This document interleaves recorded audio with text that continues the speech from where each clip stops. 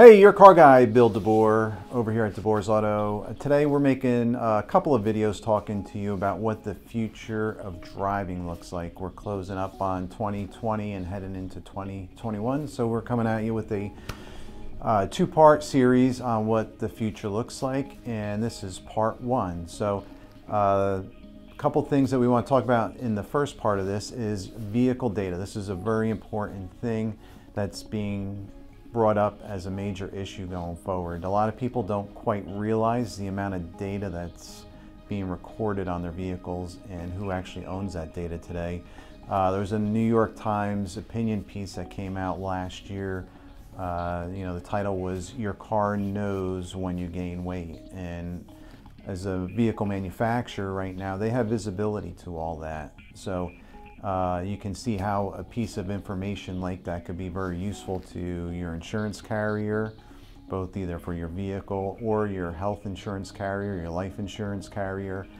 Uh, and that's just one piece of it, right? So uh, these vehicles are running around, they know your driving habits, they know where you're driving to, where you're driving from, um, what type of driver you are, and the question really comes down to if it's your vehicle, shouldn't you own the data yourself? And the manufacturers have pushed really hard to make sure that they have their foot in the door and that they're trying to control that. But uh, this past election cycle uh, in November, uh, Massachusetts passed an important piece of legislation, which is the Right to Repair Act. And this has previously been in place before back in 2012, but this expands it a little bit more and gives the consumers greater protections on their data. So uh, it's going to open it up so that you and independent shops like us have access to it too so that we can repair these vehicles when they come in. Uh, the next piece that we want to talk about with the future of driving is the stages of driverless vehicles that are coming up. So uh, I don't think it's any big secret that we're headed to a society that's going to own driverless vehicles and that we will no longer be driving at some point in the future. I think it's going to be quite a ways off, but there's five stages of driverless vehicles that I want to talk about. So level zero is, uh, you know, probably up until maybe like five years ago type of vehicles where there's absolutely no automation in the vehicle at all.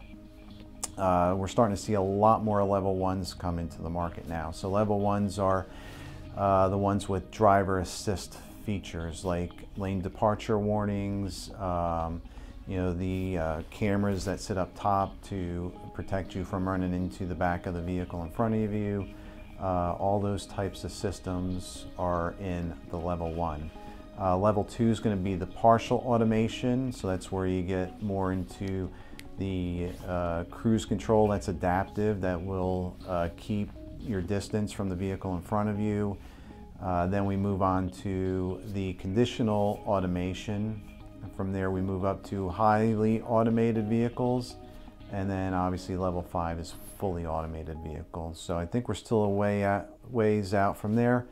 But uh, we're starting to see a little bit of the higher end vehicles right now getting into the, even the level three right now. There's some level threes out there with conditional automation. So uh, you can learn more about us. Head on over to www.deboersauto.com and learn more about us there. Thanks.